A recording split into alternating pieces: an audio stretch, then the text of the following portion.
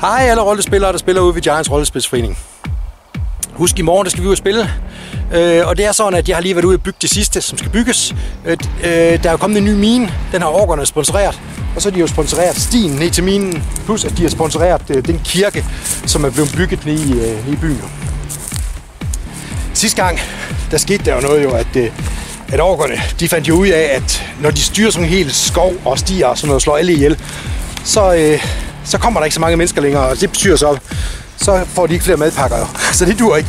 Så derfor er de blevet øh, enige med sig selv om at prøve at støtte byen lidt op og sørge for, at stierne de er fri, hvor menneskerne de må gå på, så de ikke bliver angrebet, men skoven må de ikke være i. Og det gik orkerne så også for at holde styr på, at der ikke var mennesker i skoven. Øh, så kom der en, øh, en pigegruppe med en pigeleder, Maria, med Mary, eller sådan noget hed hun, øh, som gik og ledte efter nogle folk. Hun var sådan en fin dame. Øh, de var lidt mystiske. Der var nogle kriger imellem og sådan nogle ting. Så det bliver spændende at se, hvad det er for noget.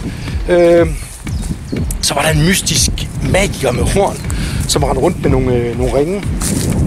Og, øh, og da, da han fandt orkernes toiletpapir, som var et kort, øh, øh, kunne han tyde de tegn, der var der på. Det var noget med, at man skulle bruge de ringe her til en ceremoni til at, til at angribe æske, ja, ja, asken. Fordi asken den er begyndt at blomstre helt vildt op.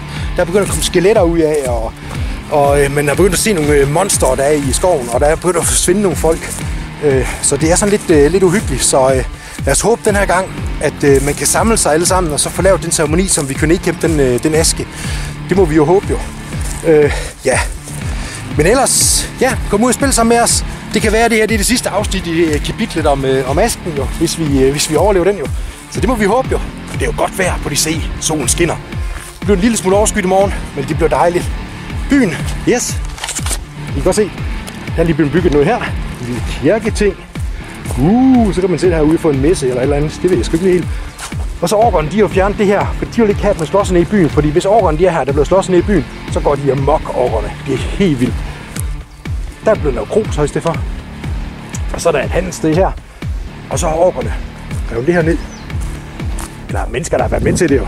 Det er jo orkerne giver ikke lave for meget selv jo, så de har bare sponsoreret en masse materialer, så menneskerne de har lavet det. Så øh, Patadinen, der er hernede, det er ham, Oliver, han spiller. Øh, har jeg fået lov til at være leder, men det er jo ikke det er jo ikke det, han gerne vil jo, fordi han vil jo gerne være en del af, af, af, af at styre kirken jo. Så lad os håbe, der kommer en præst, der kan styre det. Øh, ja. Og så starter vi alle sammen i byen jo. Hvor de overdrager det her til menneskerne. Så øh, kom og vær med. Kom ud og slås mod folkene. Kom ud og øh, nedkæmpe det her, så vi kan få styr på det hele igen.